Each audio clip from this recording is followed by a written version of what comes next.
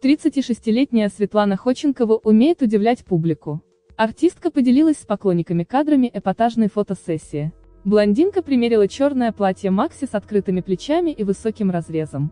Образ она дополнила черными ботфортами. Звезда фильма «Любовь в большом городе» отказалась от макияжа для съемки. Стилисты уложили ее локоны необычным способом, придав им эффект растрепанных волос. Светлана закинула ногу выше головы, обнажив мышцы.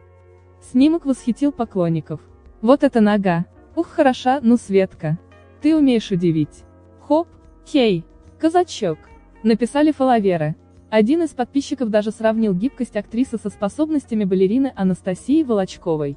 Вторая Волочкова просто, обратился он к кинозвезде. Недавно Светлана Ходченкова вышла в свет в платье с обнаженными плечами. Актриса снялась топлес.